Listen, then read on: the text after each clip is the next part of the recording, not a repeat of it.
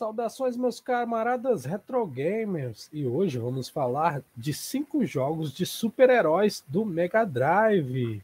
É, galera, infelizmente o vídeo passado quase ninguém assistiu o vídeo, então vão lá, né? Vou deixar no card aqui para vocês verem o vídeo da análise do Dead Space. Gostaria que vocês ir lá, dessem um comentário, dessem seu like e nos ajudassem, né? Com outro vídeo e também nesse vídeo aqui, né? Vamos aí para intro, solta!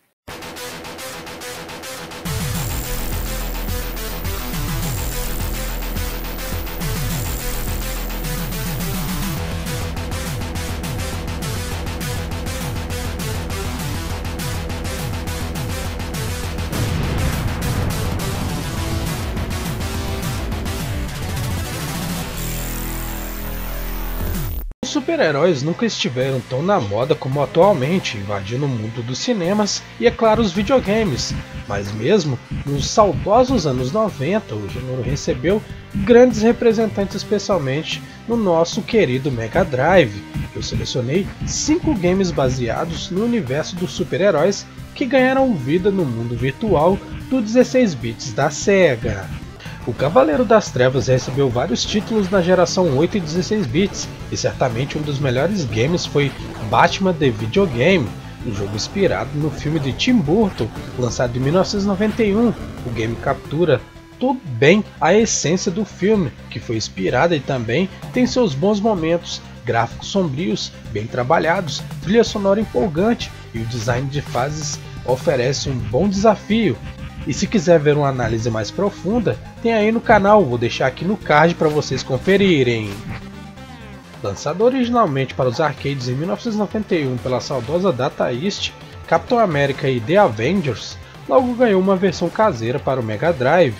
O game possui uma incrível atmosfera de história em quadrinhos com a equipe dos Vingadores, que é formada por Capitão América, Homem de Ferro, Visão, Gavião, Arqueiro baseado no estilo clássico de pancadaria 2D, os famosos beaten ups, o título se revela uma grande diversão quando se jogada junto com um amigo simultaneamente na tela. A versão de Mega Drive é a que mais se aproxima da versão de arcade. Em 1991, um amigão da vizinhança ganhou o que é considerado por muitos fãs o seu melhor game da geração 16 bits, além de retratar fielmente o espírito do herói no mundo virtual, com direito a uma história digna de uma graphic novel da Marvel. O jogo faz um enorme sucesso no mundo todo. Tal popularidade ganhou força também pela ótima fase que o personagem estava nos quadrinhos na época, com histórias escritas e desenhadas por hoje o famosíssimo Toad McLean, que até então era um nome desconhecido. Spider-Man vs The Kingpin foi um marco na história que entrou para a geração 16 bits, chutando traseiros e é considerado até hoje um dos melhores, se não o melhor jogo do cabeça de teia de todos os tempos, e ainda ganhou uma versão turbinada no Sega CD.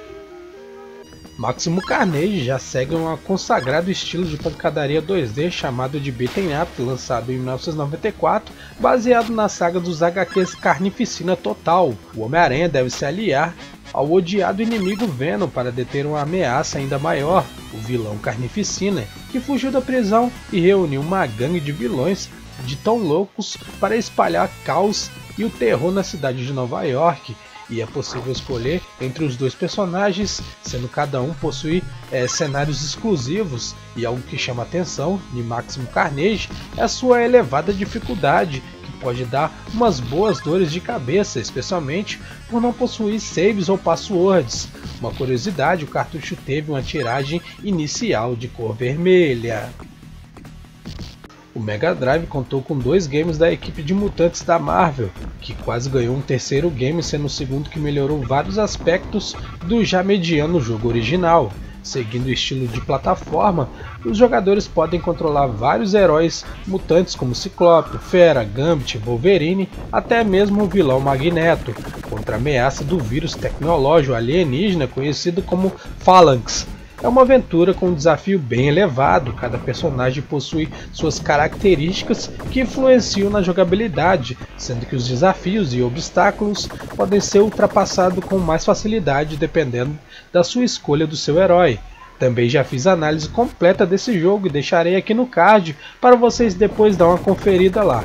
Bom, Vou indo nessa. Não deixe de curtir e compartilhar o conteúdo do canal. Vejo que tem bastante gente que assiste os vídeos, mas não está inscrito no canal, galera. Bora aí clicar em se inscrever, deixar o sininho ativado e valeu, falou, até a próxima. Fui!